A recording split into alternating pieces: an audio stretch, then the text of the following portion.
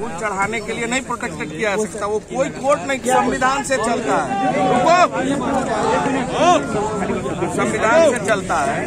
हम संविधान को मानने वाले लोग हैं। कोई काम नहीं है। सिर्फ़ दो करेंगे और चुपचाप चले हमको काम करने दीजिए एक मिनट रुक जाओ। आप अपना काम करिए मुझे मुझे आप हमें गांधी जी की प्रतिमा पर क्या इस सरकार में फूल अर्पित करने देंगे कि नहीं देंगे?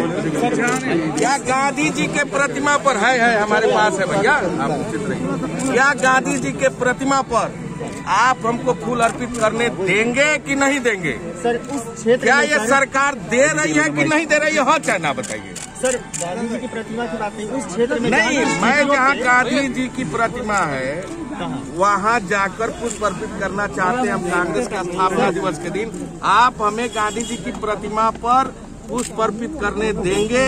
भाजपा की सरकार देगी कि नहीं देगी? हाँ या ना बताइए। सर उस क्षेत्र में नहीं देंगे सर। आप गांधी जी की प्रतिमा पर नहीं जाने देंगे? उस क्षेत्र में आप नहीं जाने देंगे? उस क्षेत्र में ठीक है हम उपवास करेंगे।